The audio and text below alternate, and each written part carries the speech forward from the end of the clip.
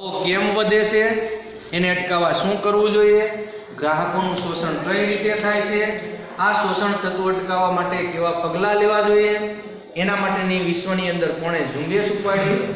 એની સુંદર માહિતી આ પાઠની અંદર બોર્ડે મૂકેલી છે અને બોર્ડે પણ આ પાઠને ચાર ગુણ ફાળવેલા છે.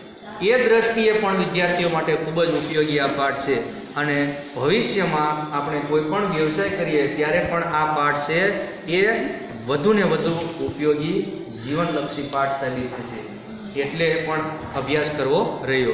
તો જોઈએ આપણે ભાવ વધારો અને ગ્રાહક જાગૃતિ. પહેલું તો વ્યાખ્યા લઈએ કે ભાવ વધારો કોને કેવું જો બેજ જ ન ખબર હોય તો આગળને આ પારિભાષિક શબ્દ ન આવડે. એટલે પહેલા વ્યાખ્યા લઈએ કે અર્થતંત્રની અંદર તમામ ક્ષેત્રોની અંદર ભાવો જે વધે છે, એ ભાવો સતત એક જ ધારા અને સાર્વત્રિક રીતે એક ધારા ઊંચા દરે થતા વધારાને ફુગાવા રૂપી ભાવ વધારો કહેવામાં આવે છે. આજ ભાવ વધ્યા અને કાલ ઘટી ગયા, અઠવાડિયું વધ્યા અને અઠવાડિયું ઘટી ગયા, તો તેને ભાવ વધારો કહેવામાં આવતો નથી. પણ ઊંચા દરે ભાવોમાં વધારો થાય, બે ટકા, ત્રણ ટકા, ચાર ટકા, એ રીતે સતત વધતો જાય, તો આપણે એને ભાવ વધારા તરીકે ઓળખીએ છીએ. અને બધા જ ક્ષેત્રની અંદર, સેવા ક્ષેત્ર હોય, શિક્ષણ હોય, સામાજિક ક્ષેત્ર હોય, તો એ બધા જ ક્ષેત્રની અંદર ભાવો વધવા જોઈએ, તો જ તેને ભાવ વધારા તરીકે ઓળખાવી શકાય. ત્યાર પછી કોઈ પણ અર્થતંત્ર છે એ અર્થતંત્રની અંદર મોટા ભાગે ઉત્પાદકો છે એ પોતાનો નફો મેળવવા માટે. એ વધુને વધુ વસ્તુ છે, એ વસ્તુની નફારૂપી ઉત્પાદન કરી અને નફો મેળવે છે એ નફો છે, એ નવા કોઈ ઉદ્યોગ શરૂ કરવા માટે, નવું સાહસ કરવા માટે એ નફો વાપરશે. સાહસ કરે એટલે સ્વાભાવિક છે કે અસંખ્ય લોકોને ત્યાં રોજગારી મળશે. રોજગારી મળશે એટલે એ કુટુંબના સભ્યોની આવક વધશે. આવક એ કુટુંબના સભ્યોની વધશે એટલે એ વ્યક્તિની ખરીદ શક્તિ વધશે. ખરીદ શક્તિ વધશે એટલે વસ્તુની માંગ વધે. વસ્તુની માંગ વધશે તો વળી પાછી ઉત્પાદક છે એ નવી વસ્તુનું ઉત્પાદન કરશે. આમ આખા અર્થતંત્રની અંદર સતત બધા જ ક્ષેત્રોની અંદર એ આપણને વિકાસ થતો જોવા મળશે. ત્યારે જે વધારો વિકાસ થાય છે, તેને કહેવામાં આવે છે આર્થિક વિકાસ. અને દેશનો ત્યારે વિકાસ ઝડપી બને છે. પરંતુ કોઈપણ અર્થતંત્રની અંદર સ્થિરતા સાથે જે ભાવોમાં વધારો થાય, તો એ ભાવ વધારો પોષણક્ષમ ગણાય છે. તેથી નફો વધે છે. નફો વધે એટલે હમણાં મેં કીધું કે વેપારી છે, એ વધુને વધુ નવી વસ્તુનું ઉત્પાદન કરશે. ઉત્પાદન કરશે એટલે એનો લાભ જે કામ કરતા મજૂરો છે, શ્રમિકો છે, એ શ્રમિકોને એ મોટાભાગે શું કરશે? એ નફાની વહેંચણી કરશે. કઈ રીતે? વેતન વધારો કરીને. વેતન વધશે એટલે એ શ્રમિકોની આવક વધશે. આવક વધશે એટલે બજારની અંદર એ આખા દેશની અંદર વસ્તુઓની ખરીદી કરશે. ખરીદ શક્તિ વધશે, એટલે બચત કરશે, એમાંથી મૂડીરોકાણ વધશે મૂડીરોકાણ વધશે, એટલે વસ્તુઓની માંગ કરશે, જીવન ધોરણ સુધરશે, એમ જોતા ફરીથી પાછું અર્થતંત્રની અંદર આ ચક્ર ચાલ્યા કરશે અને એમાંથી દેશનો વિકાસ શક્ય બનશે. તો છેલ્લે આખા દેશનો વિકાસ શક્ય બનતા દેશને વિકસિત દેશ તરફ આપણે આગળ લઈ જઈ શકીશું. ત્યાર પછી અર્થતંત્રની અંદર બધી જ વસ્તુઓ અને સેવાઓની ભાવ સપાટીની અંદર સતત ઊંચા દરે ભાવો વધે. પણ જો ચીજ વસ્તુઓ અને સેવાઓનું કુલ ઉત્પાદન જ્યારે વધતું નથી, ત્યારે નાણાંનો પુરવઠો ઝડપી વધે છે.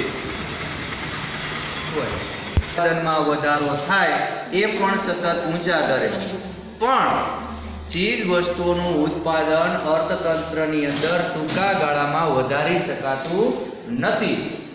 આપણે ડુંગળીનું ઉત્પાદન નિષ્ફળ ગયું. એટલે ડુંગળીના ભાવ વધ્યા. હવે એક જ મહિનાની અંદર ડુંગળીનો પાક ઉગાડીને પાછો બજારમાં ઠાલવી શકાય? ન ઠાલવી શકાય. એટલે વળી પાછા અર્થતંત્રની અંદર ભાવો ઊંચકાય છે, ભાવોમાં વધારો થાય છે. પરંતુ એનાથી વિરુદ્ધની વાત કરીએ તો નાણાંનો પુરવઠો પણ ઝડપી વધે છે. જ્યારે ઉત્પાદન વધતું નથી, તેની તુલનાએ નાણાંનો પુરવઠો અર્થતંત્રની અંદર વધે છે. ત્યારે પણ ભાવોમાં વૃદ્ધિ થાય છે કે ભાવો વધતા જોવા મળે છે. આમ, વધુ નાણું, થોડી ચીજ વસ્તુઓ પાછળ કે થોડી વસ્તુઓને પકડવા માટે પાછળ દોડે. આ એક વિચાર છે એ વ્યાખ્યા છે, એ પકડવા માટે પાછળ દોડે. તો તેને ફુગાવાજન્ય પરિસ્થિતિ કહેવાય. હવે એ વ્યાખ્યા તમને સમજાવું. આપણા અર્થતંત્રની અંદર નાણાંનો પુરવઠો વધી અર્થતંત્રની અંદર નાણાંનો પુરવઠો વધી જાય એટલે સામાન્ય અને સાદી ભાષામાં કહું, પૈસા આખા દેશમાં ઠલવાય. એટલે વધે. આપણા દેશની કેન્દ્રીય bank, RBI, reserve bank of India. એ સરકાર એને સોનું ગીરવે મૂકે, એના બદલામાં એને પૈસા છાપીને આપે છે એટલા પ્રમાણમાં. ત્યારે નાણું અર્થતંત્રમાં વધી જાય છે, એ સમયગાળા દરમિયાન વસ્તુઓનું ઉત્પાદન દેશમાં થયું હોતું નથી. વસ્તુનું પ્રમાણ ઓછું હોય છે. એટલે વસ્તુ ઓછી હોય, વસ્તુની અછત હોય, ત્યારે વધુ નાણું છે એ ભાવ ઊંચકે છે. અને તે જે ભાવ વધે ને, એને કહેવાય છે ફુગાવાજન્ય પરિસ્થિતિ. બરાબર? આ ખૂબ સરળ તમે સમજી શકો ને એવી આ વ્યાખ્યાની મેં સમજૂતી આપી. પરંતુ વિશ્વની અંદર બધી જ જગ્યાએ ભાવો વધે, એટલે ફુગાવો થાય જ એમ કહી શકાય નહીં. કારણ કે ભાવ વધારો છે એ ઘણી વખત પોષણક્ષમ પણ બને છે. થોડીક વસ્તુઓ એવી હોય કે એની અંદર ભાવો વધતા હોય, તો જીવન જરૂરિયાતની કેટલી એવી વસ્તુ હોય કે જેની અંદર ભાવો ઘટતા પણ જોવા મળે. જથ્થાબંધ ભાવક છે, એની કિંમત વધતી હોય, તો જીવન જરૂરિયાતની વસ્તુઓની કિંમત ઘટતી હોય, ત્યારે ઘણી વખત એવું બને છે કે ભાવ વધારો છે એ ફુગાવાજન્ય હોતો નથી. એટલે દેશમાં ઘણી વખત ઉત્પાદન પણ વધતું હોય તો ભાવ વધારો થાય એમ કહી શકાય નહીં. પણ દેશના વિકાસ માટે સ્થિરતા સાથેનો ભાવ વધારો એ દેશના વિકાસમાં મોટામાં મોટું મહત્ત્વનું પરિબળ કે મહત્ત્વની ભૂમિકા ભજવતું પરિબળ કહેવાય છે.